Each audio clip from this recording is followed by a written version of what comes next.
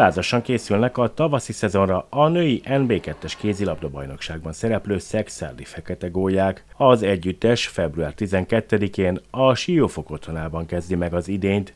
A mérkőzést még decemberben halasztották el a házigazdák kérésére. A Siófoknál nagyon nehéz készülni, mert ö, ugye itt a, ha kiismeri ezt a bajnokságot, itt a 11 csapatból 6 az utánpótlás. És U22 nőibe, ezzel azt kell mondjam, hogy ott, ott lehoznak a felnőttből játékosokat, akkor nagyon erősen tudnak felállni. Ha nem, akkor sem rossz csapat, tehát ezek az első osztálynak az utánpótlásai azért ezek nem rosszak.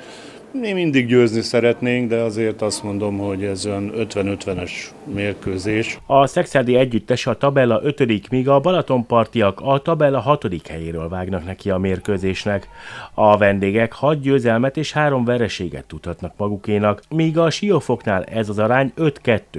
Ők viszont már megverték az első és a második helyen álló Nekát és a Mohácsot is. Kevesen vagyunk, most ö, éppen a Peactól egy kettős játékengedélye hoztunk egy kislányt, akivel próbáljuk itt kicsit megerősíteni, vagy inkább azt mondom, egy kicsit variációba többet hozni a csapatba, mert hát bizony az első sorunk az, az nem nagyon pihenhetett, mert a, különösen a belső posztokon ott, ott alig van cserénk. A szexádi fekete gólyák vezetőedzője azt mondja, a szezon végére szeretnének eljutni a dobogó harmadik fokáig.